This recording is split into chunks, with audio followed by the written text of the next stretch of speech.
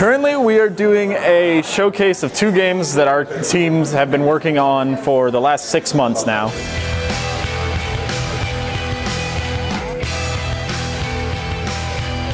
What we've got here is the result of hard work, a lot of sweat, a lot of tears. We got scripts from the writers at the Toronto Film School, and we were to take those scripts and turn them into games.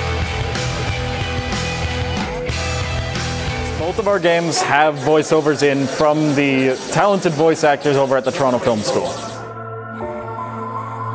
I just thought, you know, we never really just talk anymore.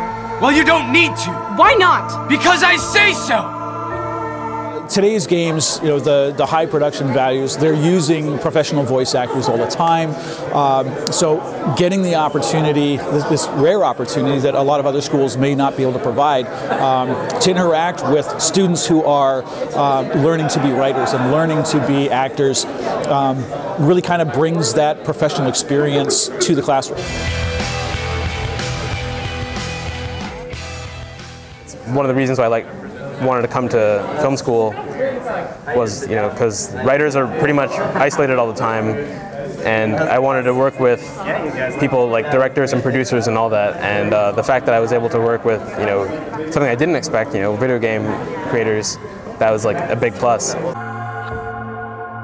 lot of people think of acting as just being on stage or like the um, film and television, but there's a lot of opportunities with um, video games, especially now when you can do the mocaps, um, which is like the motion and the voice for video games. There's lots of opportunities, so this is like a nice place to start, as well as animation. I think voice is a huge part of the acting industry that people don't really think about. I've learned a lot at this school, but one of the greatest things has been the connections I've made and the people that I have met in other programs in production, in the video game, and writing, everything. Um, being able to work together has been really valuable. I don't know of any other schools that get to do video games. I mean, the fact that I get to put this on my demo reel is amazing. To already have video game experience on there on my resume, it's, it's I think, very unique and very valuable.